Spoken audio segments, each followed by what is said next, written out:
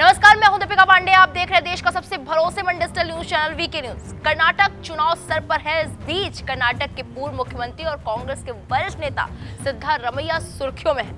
उनके सुर्खियों में रहने की वजह क्या है, वो आपको बताएँगे, लेकिन उनकी सुर्खियों को लेकर पीएम मोदी ने उन पर बड़ा हमला बोला है। अब आपके मन में दो सवाल उठने जायज़ है। पहला सिद्धारमैया सुर्खियों में क्यों है? और दूसरा, पीएम मोदी ने क्या हमला बोला है? पीएम मोदी ने जो वार किया है, वो आपको आगे दिखाएँगे, लेकिन आपको सिद्धारमैया के सुर्खियों में रहने की वजह बताते हैं। वो वजह आपको तभी पता चल सकती है जब आप ये वीडियो देखेंगे।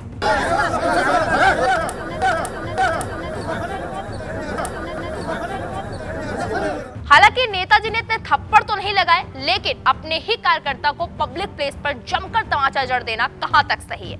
सोशल मीडिया पर वायरल हो रहे इस वीडियो में आप देख सकते हैं कि सिद्धारमैया अपने आवास के बाहर समर्थकों की भारी भीड़ से घिरे हुए हैं। उनके समर्थक और पार्टी कार्यकर्ता उनसे मिलना चाह रहे हैं। इस दौरान एक कार्यकर्ता उनसे मिलने उनके एकदम करीब पहुँच जाता है।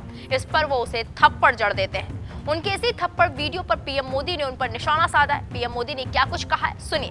मैं कल सोशल मीडिया पर कर्नाटका का ही एक वीडियो देख रहा था।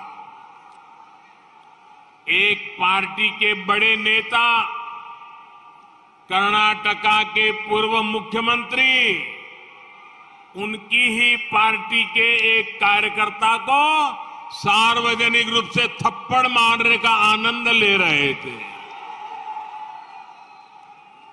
जो अपने कार्यकर्ताओं का सम्मान नहीं कर सकते वो जनता जनार्दन का सम्मान क्या करेंगे? पीएम मोदी के हमले पर और सिद्धारमैया के थप्पड़ पर आपकी क्या राय है? कमेंट बॉक्स में जाकर ज़रूर बताएँ। बाकी बड़ी खबरों के लिए आप देखते रहे वीके न्यूज़ नमस्कार।